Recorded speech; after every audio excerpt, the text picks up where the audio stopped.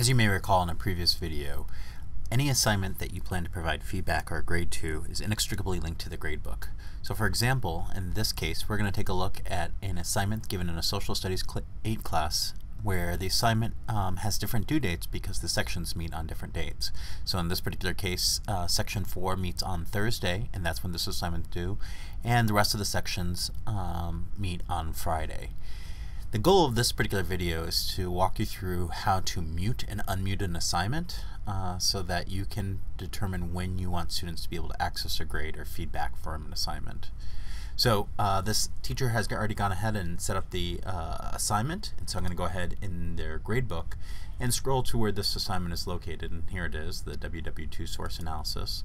When you click the drop-down arrow, you will notice that you have the ability to mute uh, an assignment and by doing so, uh, you will, once you grade the assignment, uh, basically a few things are not going to happen.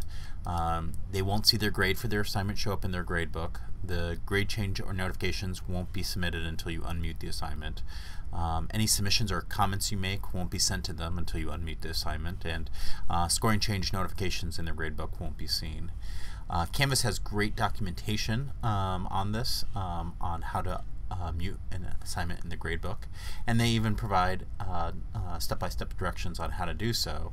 And then you can always see what a uh, muted assignment is going to look like for a student uh, in their grades. And so in this particular case, you can see that a student, when they're looking at their assignments or feedback, it will show the speaker crossed out.